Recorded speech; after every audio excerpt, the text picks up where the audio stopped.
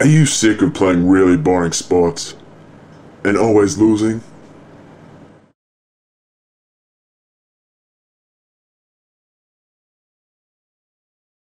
Players ball up. Great signs for the Bombers. Are you sick of watching pussy sports with no contact? Maybe they're putting you to sleep. In the match to see Matthew Lloyd lay that tackle. And the question hangs in the air, what the heck was Scotty Lucas doing playing on to his right?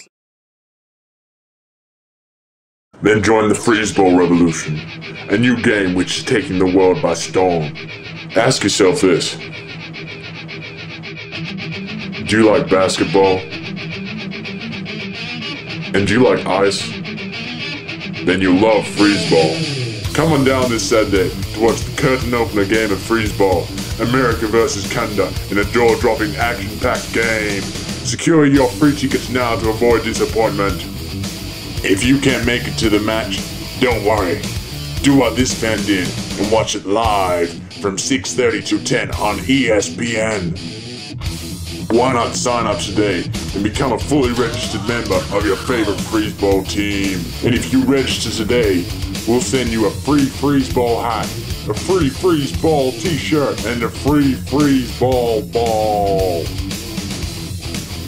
And now let's cross live to a fully registered freezeball fan to see what he has to say about his favorite sport. Yeah, it looks good. I I've been practicing at home. You know, looking forward to it. Just getting used to the temperature and things. But I am afraid due to my extreme hotness that I might melt the ice, but that's just how it goes with me, you know.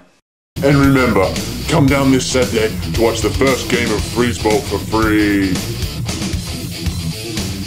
Freezeball is proudly brought to you by Adidas, Gatorade, American Airlines, and Spalding.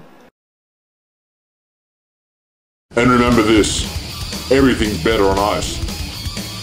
Apart from Ben Cousins. Freezeball! Are your balls freezing?